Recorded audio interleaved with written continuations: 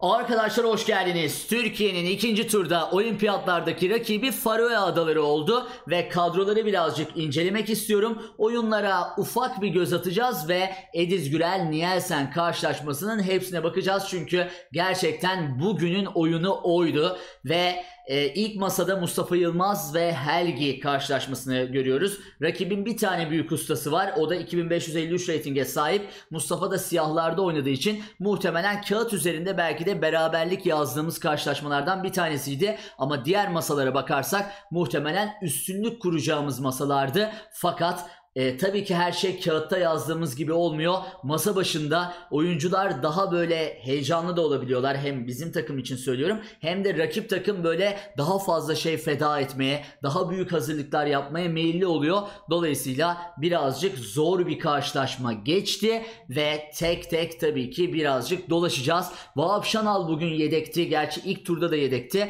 E, belki bilmiyorum yol yorgunluğuyla ilgili bir durum mu var ya da ilk tur 4-0 kazanınca kazanan kazanan e, ekibi korumak mı istedik e, tam olarak bilmiyorum ama tabii ki hem takım kaptanımız hem de takımdaki oyuncular bunu benden o formları daha iyi bilirler. O yüzden e, gayet iyi bir kadroyla buradayız ve e, o 5 oyuncumuza da tabii ki kaptanımızla beraber aynı zamanda e, güveniyoruz. Bakalım neler olmuş. Şimdi ilk masada Gerçekten çok riskli bir karşılaşma vardı ve beyazlarda Helgi e, daha böyle oyunun ortasına bile geçmeden 13. hamlede burada at çarpı D4 feda etti. Bu varyantta gerçekten var çünkü siyahlar burada G6 oynayıp devamında işte buradaki atı kovu fil G7 ve kısa roku hızlıca gelişecekken siz buradaki gelişimi bozuyorsunuz ve E çarpı D4 ve vezir çarpı D4 hamlesiyle beraber ver buradaki H8'i ve devamında işte fil G7 ve rok hamlesini de engellemiş oluyorsunuz. Kale G8 ile beraber roku tamamen böyle çöpe atmak istemedi Mustafa Yılmaz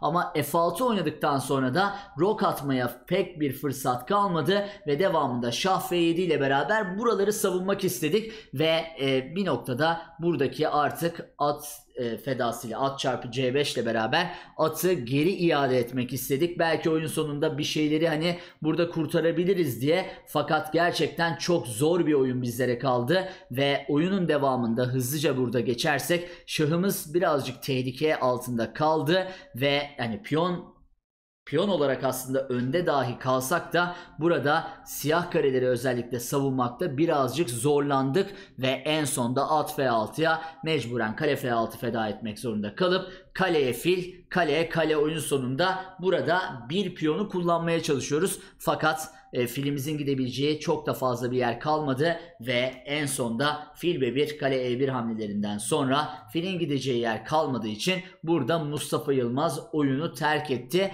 ve ilk masada e, yani yüzümüz gülmedi ama burada yani beraberlik bekliyorduk açıkçası. E, fakat her an her şey olabilir. Açılışlara göre değişiyor, oyun heyecanına göre değişiyor. O yüzden moralimizi ve Mustafa'nın da moralini asla bozmaması gerekiyor. Yağız Kağan Erdoğmuş karşılaşmasında ise oyun genelde Yağız'ın kontrolünde gitti ama beraberliğe çok yakındı ve en son bir piyon kazandı ve o piyon kazancından sonra da bu oyuna baktığınızda yani kenardan daha değerlendirmeyi görmediğinizde bile şunu saymanız lazım.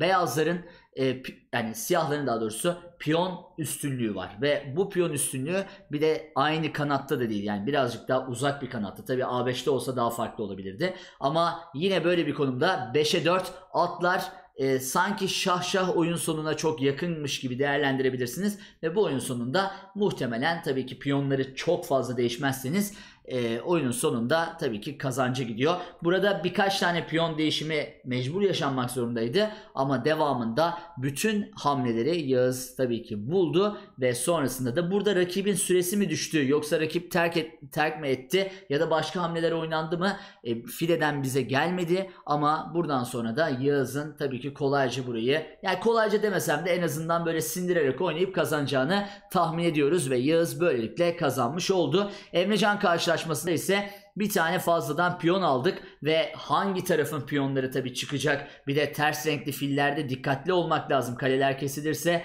oyun sonu beraberliğe gidebilir ama yine de 3 piyon beraber 2 piyon beraber olduğunda birazcık daha farklı şeyler görüyoruz. Ve burada e, güzel bir feda yaptı aslında. Kale çarpı D2 gibi bir feda ile beraber Emrecan oyunu çok kolay bir şekilde kazandı. Kale D2 ve fil B7 ile devamında A6, A7 ve A8 hamlelerini tutmak çok kolay değil. Kale D1 ve işte buradaki değişimlerden sonra hani bir kale A5 tabii ki burada A7 engellerdi ama B4 ile beraber orayı da savundu. Zaten bunların hepsi hesaplı olduğu için zaten kale çarpı D2 fedası yapıldı. Kale E2 ve şah B3'ten sonra artık burayı tutmak mümkün değil. Hani kale E8 oynarsınız.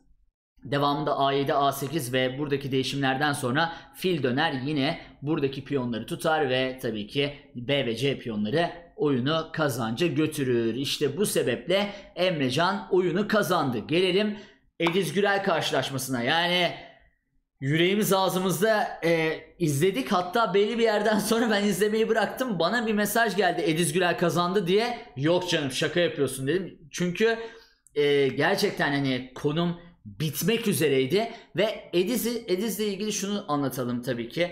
Yani çok yetenekli bir oyuncu ve 2600'den çok daha üst reytinglerde olduğunu biliyoruz ama olimpiyat farklı bir yer. Türk milli takımı formasıyla burada oynamak gerçekten çok heyecanlı olsa gerek. Ediz de bu heyecanı sonuna kadar yaşıyor ve e, birkaç tabii ki karşılaşma sonra kendisi müthiş bir ritme oturacak ve bu karşılaşmayı birazcık inceleyelim.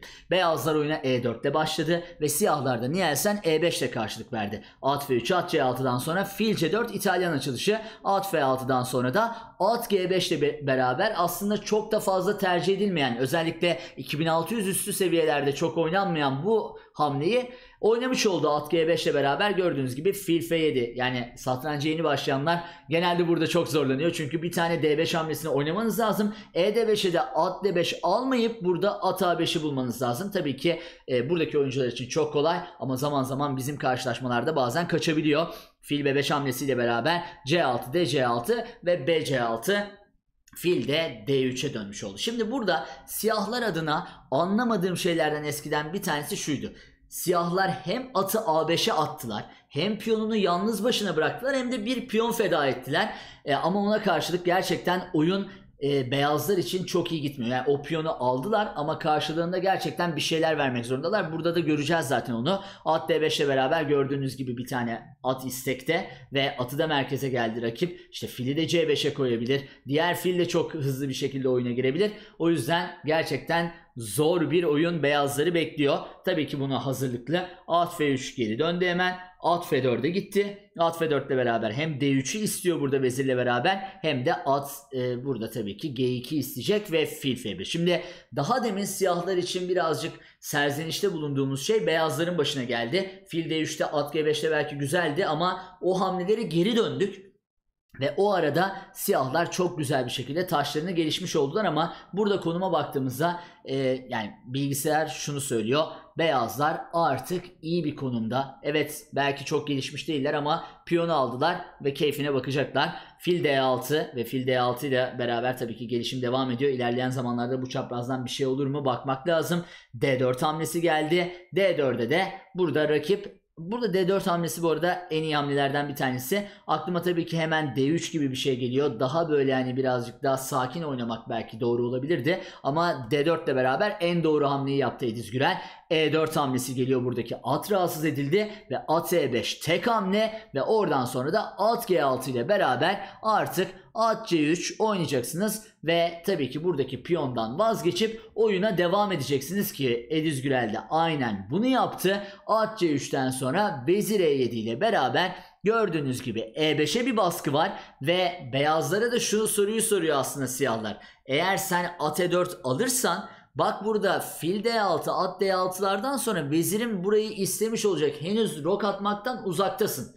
Ama Ediz Gürel'in hiç korkusu yok. At E4 doğru hamlesini buldu. Fil çarpı E5, D çarpı E5 ve vezir çarpı E5. Vezir E2 de bulundu. Ve vezir E2'den sonra şöyle bir sıkıntı var. Buradaki fil çıkamayacak. Yani fil burada D3'te olsa zaten ben size şunu anlatacaktım. Ve Ediz Gürel çok kolay bir şekilde bu oyunu kazandı diyecektim. Fakat Vezir E2'den sonra kısa rok ve artık burada kalede gelecek. Yani başımız birazcık belaya girebilir ama at C3 o da doğru hamle. Vezir C7 rakipten hata geliyor ve bizim bulmamız gereken hamle gerçekten çok zor. İnsanın eli file 3'e gidiyor. Yani kimse yalan söylemesin. Burada fil D2 oynamak gerçekten çok zor. Fil D2 ve devamında uzun rok atmak istiyorsunuz. Çünkü kale E8 mümkün değil ya. Vezir E8 var. O yüzden yani bu belki kale E8 fikri henüz korkutmasa da şu şöyle bir korku olabilir. Yani fil D2'den sonra rakip boş durmayacak. Fili bir yere atacak ve sonrasında kale E8. Ne yapacağız? Ama Fili atabilecek de çok güzel bir yer kalmadı. Dolayısıyla burada fil D2 ve uzun rok temasına bakmak gerekiyordu. Fakat file 3'te yani yanlış olsa da yani çok büyük bir yanlış değil hala beyazlar üstün ve bunu belki tercih ederiz. File 6 hamlesi geldi beyazlar hala üstünler. Bir tabi uzun rok bakmak lazım ama burada bir insanda uzun rok atmayabilir. Çünkü yani kale B8 atın buraya bakışları fil buraya bakacak vezir ilerleyen zamanlarda A5'ten bakabilir. Yani buradaki şahı nasıl koruyacağız deyip vezir H5 oynayıp çok mantıklı fili E2 ya da D3'e atacak ve kısa roka attıktan sonra artık oyun bitecek belki de ama o kadar kolay değil diyor. Kale AD8 oynadı rakip ve kale AD8'den sonra biz burada B3 hamlesini oynadık. Yani tabii ki ilk olarak bakmamız gereken hamlelerden bir tanesi fil D3'tü. Fakat ona karşılık bir tane at C4 ve buralara buralara bakış e tabii ki bizi zor durumda bırakacaktı. Dolayısıyla önceden bir B3 oynayıp at C4'ü kesip sonra fil D3 oynamak istedi iyi niyetle. Fakat F5 ve fil D3'ten sonra da vezir E5 hamlesi. Yani bu bu arada inanılmaz fikirler. F5 ile beraber buradaki veziri tamamen buradan e, yani yok ediyorsunuz. Yani hem vezir E5'i hazırlamış oluyorsunuz hem A5'teki artık herhangi bir tehdit yok. E, vezir C7'de olmak zorunda da değil ve fil D3'ün ardından vezir E5 ver artık buradaki C3'ü ve artık konumda tamamen kayıp bir yerdeyiz. Şah D2 ile tabii ki o C3'ü tutmak zorundayız. Yani gönül istiyor ki artık kale D1 ve bir şekilde atı bir yere atıp Şah C1 oynayabilelim yani bir şekilde. Uzun rok atmadık ama uzun rok atmaya doğru yöneliyoruz şu anda ve daha bir kö- daha kötü konumda maalesef. At F4 hamlesi geldi. D3'e müthiş bir baskı var. Vezir F3, at D3, C D3'ten sonra F4 hamlesi geldi ve fil çarpı A7 ile beraber en azından ümit ediyoruz burada birkaç tane piyon toplayıp belki atımızı filimizi bir yere vuracağız ve oyun sonunda belki ona karşılık bir şeyler elde etmeye çalışacağız. Fil F5, D3 istekte artık ve kale E1 ile beraber en azından diyor ki kale D3 vezir D3'ten sonra ben burada kale E5 alabilirim o yüzden kaçmanız lazım. Vezir F6 rakip de kötü hamleler yapmaya başladı ve artık bizim zamanımız başlıyor tamamen bütün hamleleri doğru bulmak zorundayız. Ve D4 gerçekten bunlardan bir tanesi. Artık D3'e saldırılmıyor. D4 ile beraber burayı savunuyoruz. Ve kale D7'nin ardından tabii ki D4'e basmaya gelecek. Diğer kalede belki de hem de A7 istekte burada. Fil B6'ya döndü. Ver buradaki atı dedi. At B7'den sonra rakibe en azından birkaç tane kötü hamle yaptırıyoruz. Ve biz de hemen oradan tüymek istiyoruz. Yani piyonu artık neyin nasıl alırsan al. Ben Şah ve birden sonra artık oyunumda herhangi bir sıkıntı görmek istemiyorum diyor Ediz Gürel belki de ve eğer burada hani mat tehdidi olmazsa ya da bir yani bir şekilde kaybetmezsek bir taşımızı zaten oyun sonunda direkt kazanıyoruz bu oyunu. O yüzden rakip hemen C5 ile beraber bir şeyler istedi. Fil istekte kaldı gördüğünüz gibi. At A4 hamlesiyle o fil tutuluyor ve kale çarpı D4 gibi yanlış bir hamle geldi. Rakip C çarpı D4 oynamak durumundaydı. Fakat tabii ki belki buraları açmak istemedi ama C çarpı D4 ve devamında buradaki piyon gerçekten çok çok tehlikeli olacaktı bizim adımıza. O yüzden kalede 4'te şanslıyız. Şah ve 1 oynadık ve rakip süresi de azken kafasında başka şeyler kurmaya başladı belki de ve unuttuğu hamleleri şimdi tek tek sizle beraber inceleyeceğiz. Şimdi Rakibin aklında şöyle bir şey oldu. Ya bu at buradaki B6'yı tutuyor ve ben vezir B6 istiyorum. Yani buradaki atı saptırırsam ya da alırsam kare çarpı A4 gördüğünüz gibi B6 boşta kalacak ve herhangi bir sıkıntı yok yani değil mi oyunda? Rakip de onu yaptı. Kale çarpı A4. Yanlış. B çarpı A4 ve vezir B6'dan sonra rakibin kaçırdığı hamle şuydu. Vezir D5. Ve burada hiç gözükmüyor. Yani o vezir D5 hamlesi hiç gözükmüyor çünkü ya buradaki tehdidi tutabilecek hem kale var hem de buradaki şahı H8'e kaçtığınızda başınıza neler geleceğini hissedemiyorsunuz burada. Çünkü işte vezir burayı koruyor, kale burayı koruyor. Şimdi bir, birazdan neden fili korumamız gerektiğini anlatacağım.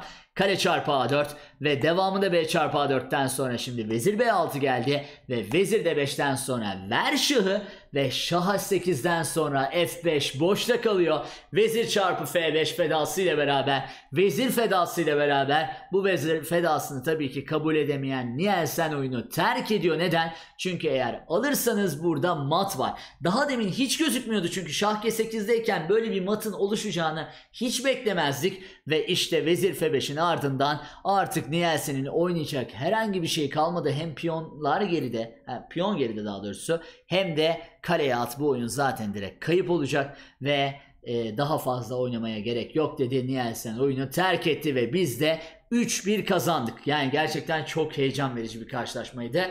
Ediz'i tebrik ederim. Ee, umarım da yani yarından itibaren gerçekten tüm oyuncularımız heyecanımızı atmış olacağız ve e, üstten oynarsak eğer tabii ki üst rakiplere denk gelme ihtimalimiz var. Buradan e, çağırmak istemiyorum ama e, Amerika Birleşik Devletleri ya da Çin'le ya da Hindistan'la karşılaşma ihtimalimiz var ama karşılaşsak dahi onlara karşı güzel performanslar sergileyeceğiz. Tekrar her gün özetlerde burada buluşmak dileğiyle. Kendinize çok iyi bakın. Hoşçakalın. Bay bay.